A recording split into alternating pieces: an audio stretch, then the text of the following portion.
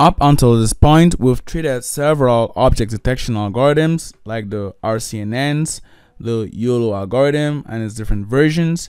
And now we're gonna look at the YOLO X algorithm, which is the one we are actually going to build and deploy in this course.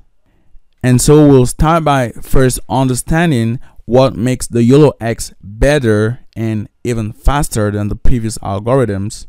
And then we'll go ahead to understand this code structure right here based on the machine learning development life cycle. Don't forget to subscribe and hit that notification button so you never miss amazing content like this. Now get into YOLO X, which is the model we are going to be building and deploying in this course. The authors started off with a YOLO version 3 baseline. So the version the, the, the feature extractor is based off the YOLO version 3 model. And then instead of using a coupled head, like in this case here, they use a decoupled head. Now recall we had seen already, like we understood what this head was all about. That's we had this output right here, which we had seen, which was breaking up in this way. And then for each cell, we had the objectness, the classes, and the bounding boxes. And so that's basically what a coupled head would look like. So here you have height times width, and then times now the for the last or the third dimension, we have the objectness, we have the classes, and then we have the bounding boxes. But for a decoupled head, instead of having just a single, like having just all this coupled together, they actually break this up. So we have this output here breaking up into this one and this one. And then this other one is further broken up into this one and this one. So here we have this head, which is in charge of the classes, this uh, head here, for the bounding boxes and then this head for the objectness that's to say whether there's an object in that cell or not. It should also be noted that the YOLO X is anchor free. So here we don't use any anchor boxes. That's we do not use any predefined anchor boxes to help the model in correctly predicting the right bounding boxes they also use strong data augmentation now recall that when trying to train this model that's when trying to get those values for the filters such that the model can correctly detect objects. We feed this model with hundreds of thousands of data, even millions of the data samples if possible. But then it's possible to increase the available data we have since already creating this kind of data sets isn't very easy. So what we could do is um, implement data augmentation. So data augmentation is all about just say for example you have let's take this off you have this image right here. You could uh, take this one and then just flip this image. So if you flip this image you see it's actually now a different image. And then you also while doing this flipping you're going to modify the outputs accordingly. And we see how this data now has been augmented. So we've added an extra sample in our data set which is coming from this initial data set. So we've taken off the we've taken the sample and then we've created this new sample from the sample without having to manually go and recreate a new sample. And thanks to this our model even performs better since now it gets to see many more samples of input images and the corresponding bounding boxes. Another addition made to the YOLO version 3 is the multi-positives. So here recall again that we had this like we're dealing with an anchor free model. So there are no anchor boxes. And so instead of considering a given point like say this one to be the positive that is uh, this one this one point here is responsible for detecting this object let's let's put out the bounding box. So instead of considering that we have only this here like this is our only positive we're gonna have multi positive so we're gonna have different positives surrounding that center positive. So we have something like this.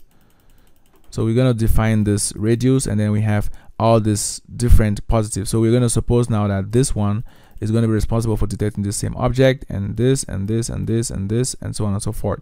So with all this now we get an improvement in the detection capabilities of the model thanks to the fact that this comes to solve the problem of data imbalance during training.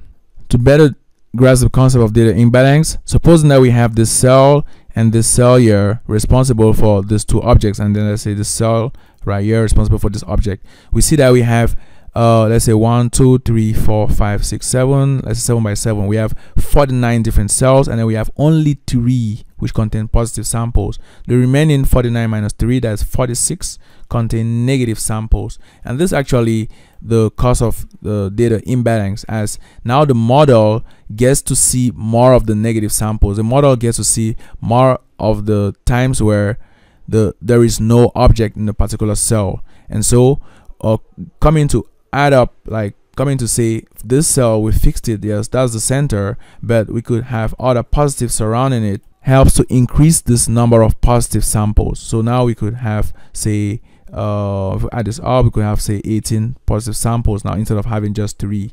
And this now permits the model see the positive samples many more times as the image is being passed through it.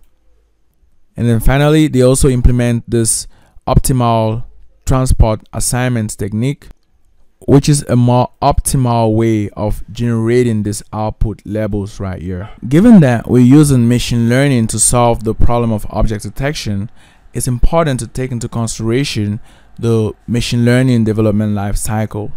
Now, this life cycle is about outlining the different steps we want to take to ensure that the management of our machine learning project goes on very smoothly. Now, the very first step we want to do is try to understand the problem. So we start with the problem understanding.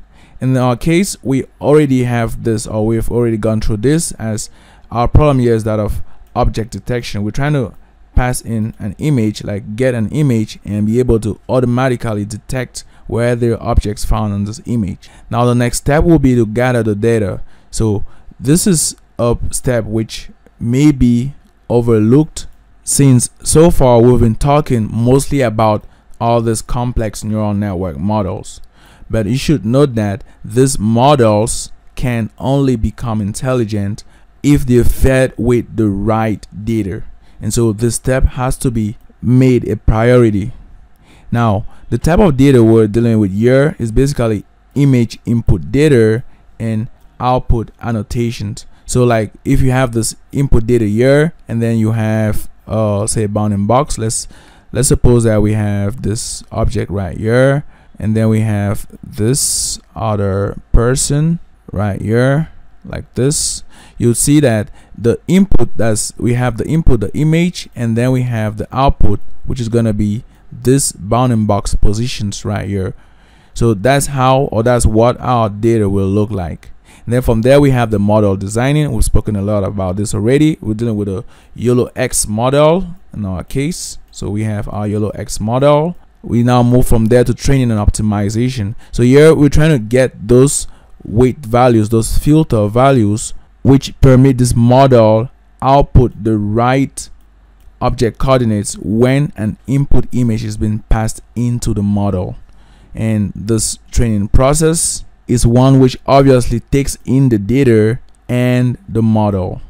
Now from here we want to evaluate our model. So we want to see how well we've performed or how well the model we've just trained is performing to see the kind of measures we can take to make this model as performant as possible so here we do the evaluation and then we could always get back to training. We could get back to data we could get back to the model designing and so on and so forth. So you should know that this isn't uh, the kind of process or the kind of life cycle where you just go one two and then right up to the end. So yeah sometimes you may get at this point and then have to get back one step or get back two steps to ensure that you're getting the right result now once you've trained this model and then you've obtained the values for the weights which permit the model take in some input and output something very reasonable right here then you could go ahead and test the model. And once you test the model you now can deploy this model to be used or consumed by say a web app by a mobile app or some desktop app. Now getting back to the code we want to thank the authors of this paper first of all for writing the paper making it available and also making the code available. So don't forget to start this repository right here. And then it should also be noted that what we use in this YOLO X repository to create models like this is PyTorch. So we're gonna making use of PyTorch and because of that we're gonna take a look at how a simple PyTorch model can be created and trained. So here we have this here you could check this out on pytorch.org site.